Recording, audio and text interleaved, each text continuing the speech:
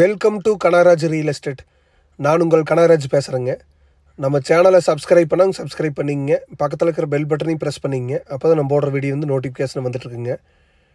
இன்றைக்கி செஞ்சேரி மலையிலேருந்து பெதம்பட்டி போகிற வழியில் ஒரு எட்டு ஏக்கர் ப்ராப்பர்ட்டி பற்றி பார்க்க போகிறேங்க இந்த வீடியோவில் பார்த்துட்டு இருக்கிறது எட்டு ஏக்கர் ப்ராப்பர்ட்டிங்க இதுக்கு உங்களுக்கு செஞ்சேரி மலையிலேருந்து ஒரு நாலஞ்சு கிலோமீட்டர் தள்ளி இருக்குதுங்க. சுற்றி ஃபென்சிங் போட்டிருக்குறாங்க. உங்களுக்கு இதில் இபி ஃப்ரீ சர்வீஸ் ஒன்று கிணறு ஒன்று இருக்குதுங்க. பிஏபி வாய்க்கால் பாசனம் இருக்குதுங்க.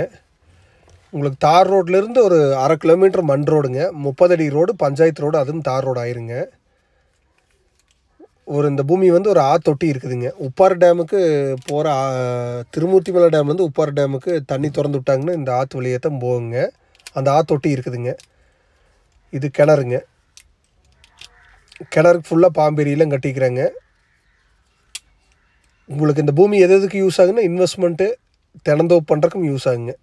தண்ணி ஃபுல்லாக இருக்குதுங்க தினந்தோப்பு வேணாலும் நீங்கள் பண்ணிக்கலாங்க. எட்டு ஏக்கர் பெரிய ப்ராப்பர்ட்டி ஆயிருங்க. கிணறு வந்து உங்களுக்கு அறுபது அடி கிணறுங்க. தண்ணி மேலால் இருக்குதுங்க.